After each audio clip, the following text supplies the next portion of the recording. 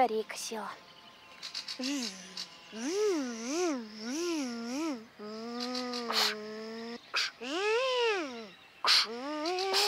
Пап, Что? чего? Да ничего, муху гоняют. Назойливая такая. Читать не дает совсем. Опять прилетела. Ну, прям не муха, какой-то кошмар. Ах, вот это кто. Ну и позвольте полюбопытствовать, дочь моя. Чего мы жужжим? Наверное, репетируем муху-цокотуху. Как там у классика? Настя по полю пошла, Настя денежку нашла, да? Пап, никуда я не ходила и ничего не репетирую. Просто мне так проще погрузиться в мыслительный процесс. Я так сосредоточусь. О, о, моя сосредоточенная дочь, позвольте полюбопытствовать. Э, И над чем мы так размышляем? Пап, вот я не пойму. Мгм. Вертолет летает вверх, вниз, вправо, влево. Ну, вообще, куда угодно. Но, по идее, пропеллер должен поднимать его вверх. И все. Но он же движется. Почему? Ты знаешь, дочь моя, я в вертолетах не очень. Ну вот. А зато у меня есть знакомый, главный вертолетный специалист. Приготовься, включаем воображение, пошли. Раз, два, три, поехали.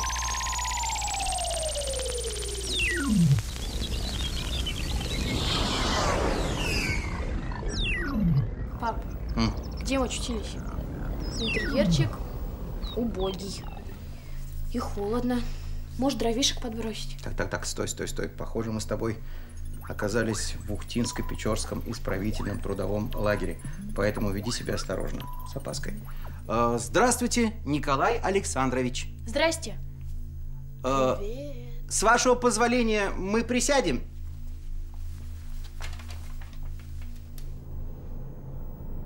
Пап, М. чего он? Чудак какой-то. Может, ему плохо? Не знаю, сейчас спрошу. А, как вы себя чувствуете, Николай Александрович? Неплохо. Спасибо за заботу. А. Живые. Господь Вседержитель, живые. А я думал, видение, галлюцинация. Мужчина и девочка в лагере здесь, на 63-й параллели, в странных одеждах. Кто вы? Какими судьбами? Я Настя, а это мой папа. А, Платонов а, Дмитрий Александрович, очень приятно. Мы из 21 века. Да. А вы кто? Я? Я Бруни. Николай Александрович, осужденный по статье 58, пункт 6 Уголовного кодекса Российской Советской Федеративной Социалистической Республики. А что за статья и что за пункт? О, Настя. Печально известная статья 58 была принята для противодействия контрреволюционной деятельности. Под первым пунктом значилась измена Родине. Мера наказания, за которую расстрел с конфискацией имущества. Или 10 лет с конфискацией имущества. А под пунктом 6, если мне не изменяет память, а, был прописан шпионаж. Лишение свободы на срок не ниже трех лет. Правильно? Не изменяет вам память, дорогой Дмитрий Александрович. Именно за шпионаж и осужден ваш покорный слуга. Правда? Первый раз в жизни вижу шпиона. А в чью пользу вы шпионили? Ну, для какой страны? Настя, ну, Настя, ну, э, любезный Николай Александрович, ну, простите э, девичью непосредственность. А ты, Анастасия Дмитриевна, смотри и слушай шпионскую историю образца 34 года, пожалуйста. Нет, нет, с Бруни я не был знаком близко. Да и с какой стати? Он профессор, а я студент. Он ведь интерес вызывал не только у меня, у всего авиационного института. Во-первых, пришел он в мои переводить разнообразную техническую литературу. Он не то три, не то четыре языка знал. И вдруг глазом не успели моргнуть. Профессор! Во-вторых, говорят, в прошлом был священником. Ну и в-третьих, история с ним вот это приключилась. Обычная для того времени история это, нехорошая. Приехал к нам в институт летчик французский, коммунист, кстати. Некто Жан Пуантист. Профессора Бруни попросили быть при нем переводчиком. Он, простая душа, и согласился. Знал бы их, к чему его переводы приведут. Так вот, Бруни, Он с французиком по театрам, по музеям, соответственно. Мсье, обратите внимание на ту картину, теперь на эту, оцените изящность линий. Говорят, очень пуантист был доволен своим переводчиком. Но едва француз дало из страны нашего профессора хвать за шкирку и ближе к северному сиянию. За что? Как за что? Смеетесь, товарищи? С французом по-ихнему лопотал? Лопотал. По театрам, музеям с ним бегал? Бегал. Так чего вам еще надобно? На лицо неопровержимый случай шпионажа, шпионажа в пользу Франции. Ничего себе. Простите меня, Николай Александрович, что вас шпионом обозвала. Не обижайтесь на меня, пожалуйста. Да бог с вами. Ну, какие обиды. Лучше поведайте мне, что за диво сейчас мы видели. Вроде бы кино и одновременно не совсем кино. Но это и есть кино, только более развитое. Называется видео. В нашем 21 веке самая обычная вещь. Так вы в самом деле из будущего? Расскажите, как там в будущем-то? Хорошо? Ну, вообще-то да. А, а как же вы переместились из 21 века? Наверное, с помощью какого-то специального устройства. Машины времени, да? Ну, ну нет, нет, Николай Александрович. Мы прибыли сюда исключительно на крыльях воображения. Надеюсь, против воображения вы ничего не имеете? Абсолютно. Ой, что бы мы, человеки, без него делали? Возьмем меня. Порой я, я воображаю концертный зал. Себя за роялем, разминаю пальцы, опускаю их на клавиши. Звучит Бетховен, моя любимая лунная соната.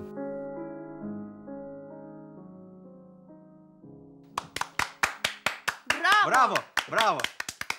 Спасибо, спасибо. Я, друзья мои, окончил Петербургскую консерваторию и до Первой мировой войны изрядно концертировал, а сейчас только и остается, что играть на воображаемом рояле. Но скажу по чести, грезы о музыке пусть не намного, но скрашивают здешнюю лагерную жизнь. Подождите, Николай Александрович, я запуталась. Кто же вы все-таки? Авиаконструктор, музыкант или священник? А может быть, вы еще и художник? Ну, вон ту картину на стене вы нарисовали? А, да, я, но не по своей воле. Кстати, это не картинка, это эскиз. И, эскиз памятника. Наше лагерное начальство готовится отметить столетие со дня гибели Пушкина. Поэтому распорядилось создать монумент поэту. Ну вот, взгляните, друзья, и решите, хорош ли эскиз. По-моему, здорово. Я присоединяюсь к мнению моей дочери. Здорово! Я думаю, он бы очень понравился вашему прадедушке. Пап, а при чем здесь прадедушка Николай Александрович? А, Притом, о моя любознательная дочь, дело в том, что Федор Антонович Бруни был не только ректором Академии художеств по отделу живописи и ваяния, но и художником, который написал последний посмертный портрет Пушкина. А, понятно. Вот тебе и А. К слову сказать, Николай Александрович вырос в семье художников. Прапрадедушки, прадедушки, дедушки, дядя, даже младший брат Лев – все они были художниками. Сам Николай Александрович тоже увлекался живописью до 17 лет, а потом вдруг оставил кисти. А, почему, Николай Александрович? А, впрочем, не отвечайте. Давайте послушаем вашего деда. Пожалуйста. В 14 лет внук Лев затеял сделать акварель натюрморт. Он поставил среди комнаты большое кожаное кресло, тесненное золотом, бросил на это кресло лисий коврик с мордочкой – и собрался рисовать. За креслом стоял рояль, вдоль стены, увешанной картинами в золотых рамах. Я пытался советовать, но мальчишка меня не слушал. Тогда я вспылил и вышел прочь. Через час-другой любопытство погнало меня обратно. Вы бы видели, господа, что сотворил мой внук.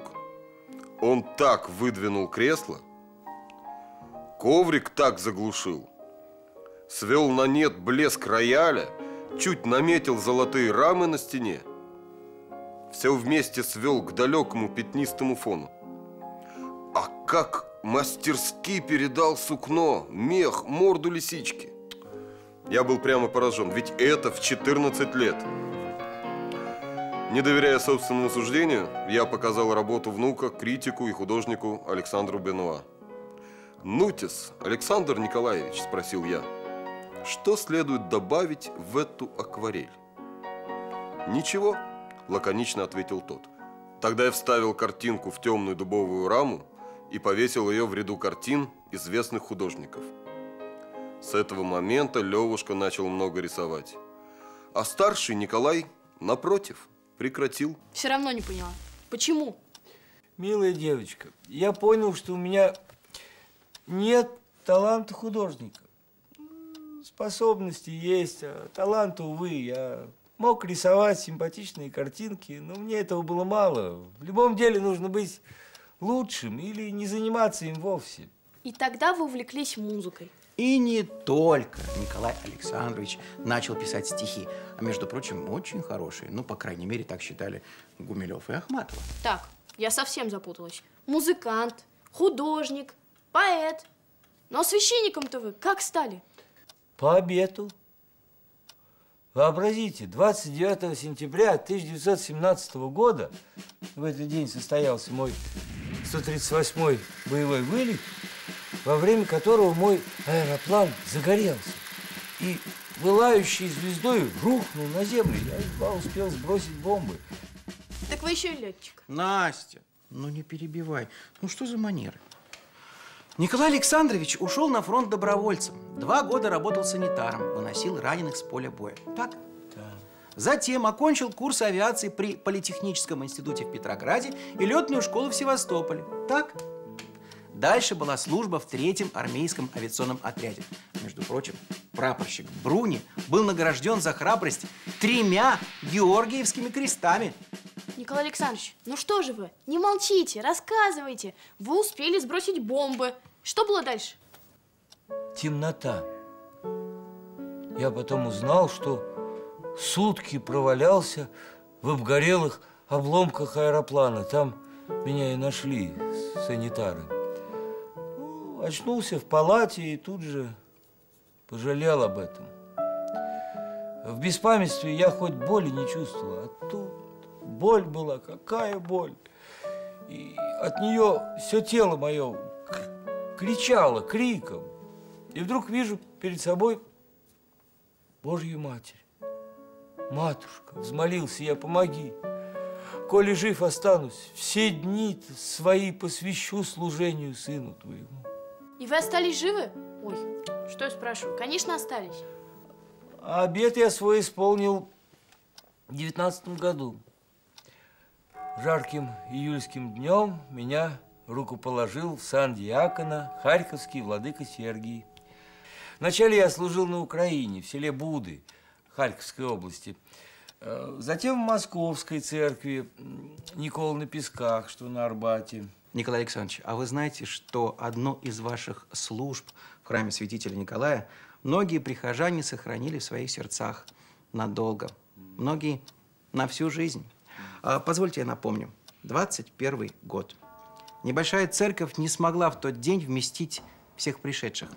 Люди толпятся вокруг храма, плечо к плечу, многие плачут, и вы отпеваете новоприставившегося раба Божьего Александра Блока. Я помню эт- этот день. Сколько людей пришло тогда к, Арбатской церкви, в которой отпевали поэта. Помню тяжелый, душный запах цветов. Помню сладкий аромат ладана, струящийся из открытых дверей храма. И звонкий голос молодого священника, который начал службу литыми строками поэта.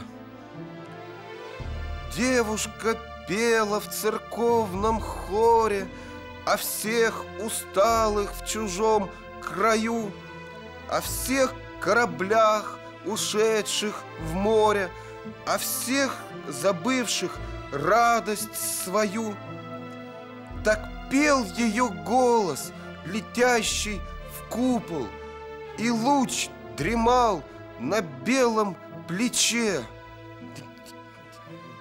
Не, не- не могу, поверьте, ну, не могу. Я старый человек, я про- прошел войну, но, но как, как каждый раз вс- вспоминая голос того священника, я снова плачу безудержно, как младенец. Николай Александрович, я так понимаю, вы ушли из священников. Почему? А, позвольте, я отвечу на этот вопрос. Вы не представляете, какое это было время. Революционные настроения охватили буквально все, даже православную церковь. Внутри нее тоже нашлись реформаторы, которые жаждали преобразования. Ну, например, они хотели, чтобы службы велись не на церковно-славянском, а на русском языке. Хотели отменить всеночные. Эти реформаторы именовали себя живой обновленческой церковью. С ней, с этой э, революционной церковью я так и не смог примириться. Николай Александрович, а чем вы зарабатывали на хлеб? Ведь вы ушли в никуда, имея на руках шестерых детей, которых надо было и кормить, и одевать. Бог не оставил нас в нашей нужде. Время от времени посылал какую-нибудь работу. Мне приходилось э, расписывать игрушки. Я освоил столярный труд. Однажды даже сложил печку. Наконец, Господь привел меня сначала переводчиком в Центральный аэрогидродинамический институт, а затем в авиационный институт.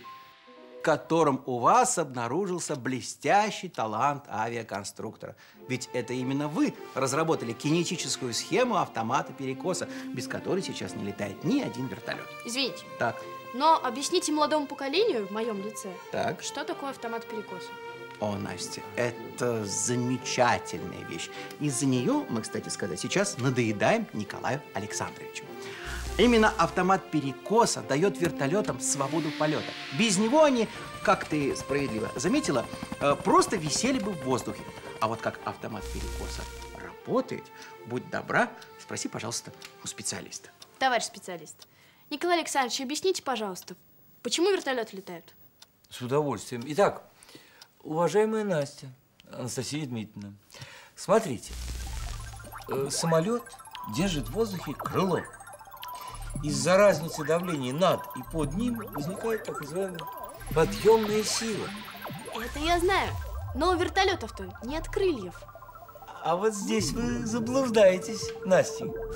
Дело в том, что крыло вертолета – это его винт. Да, поэтому их и называют винтокрылыми машинами. Поняла? Каждая из лопастей винта устроена так же, как и крыло самолета. У них одно назначение – создавать подъемную силу. Эта сила направлена всегда перпендикулярно плоскости крыла, то есть плоскости вращения винта. Если аэродинамическая сила направлена вверх и больше веса вертолета, то вертолет поднимается вертикально. Если аэродинамическая сила равна весу машины, то вертолет зависает в воздухе. Пока все понятно? Ага. Поехали дальше. Если плоскость вращения винта наклонить, то вместе с ней наклоняется и направление действия силы. Однако вес вертолета как действовал, так и продолжает действовать в том же направлении, что и раньше, то есть к земле. Это тоже понятно. Ага.